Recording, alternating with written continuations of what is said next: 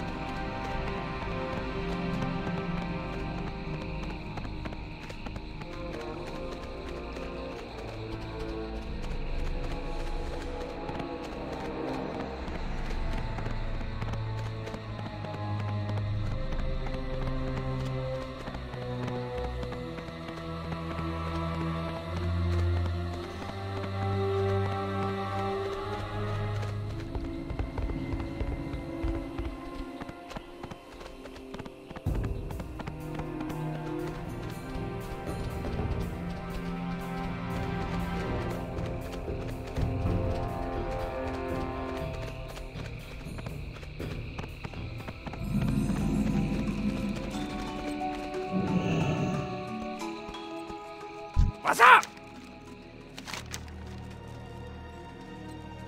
Glad I could help.